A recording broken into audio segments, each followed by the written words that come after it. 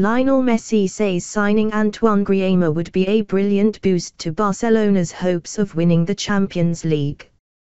The Atletico Madrid ace has long been linked with a big money move to Camp Nou and has resolved to clarify his club future this week. Should he make the switch, Griezmann would add further star power to an attack that already includes Messi, Luis Suarez and Ousmane Dembele.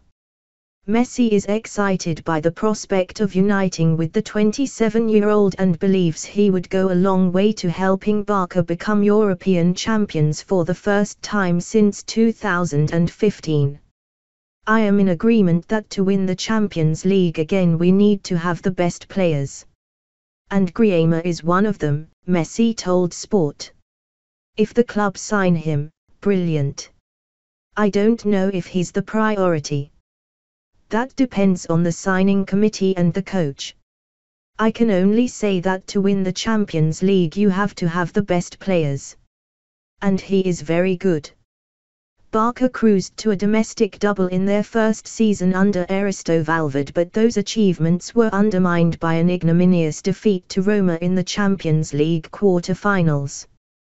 Messi, though, is adamant the season was a success. No, he said when asked if he would trade the trophies for a continental triumph. Winning La Liga and the Copa del Rey is really important. It's not easy.